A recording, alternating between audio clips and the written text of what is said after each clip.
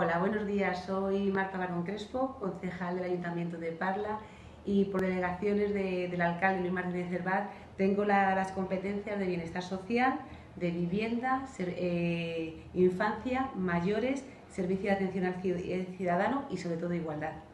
Bueno, esto, lo del el cargo de, político es un, proceso puntual y la verdad es que fue un poco también de sorpresa. Mi profesión realmente es farmacéutica y estaba trabajando en, una farmacia, pero sí que es verdad que mi vocación de servicio público, pues y por inquietudes que tenía personales, pues bueno, me llevó a, la política.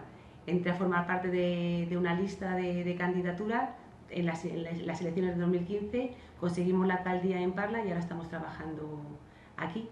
Yo personalmente, tanto en mi ámbito de mi profesión anterior como la actual, yo en mi, en mi, vida personal no he sentido ninguna discriminación por, por, razones de sexo, pero sí soy consciente de que la a día de hoy sí que existen.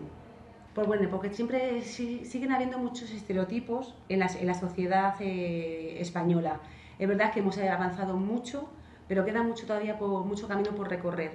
Eh, ¿Por qué puede haber desigualdades? Pues fundamentalmente por la, cultura machista que ha habido en, este país, pero y por el poco valor que se ha dado a las mujeres, que siempre se nos han mantenido un poco encerrados en el ámbito doméstico.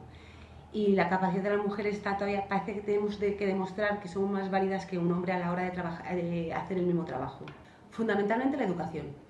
La educación desde la base principal para ir concienciando a las eh, generaciones más jóvenes que todos somos iguales a la hora de realizar un mismo trabajo.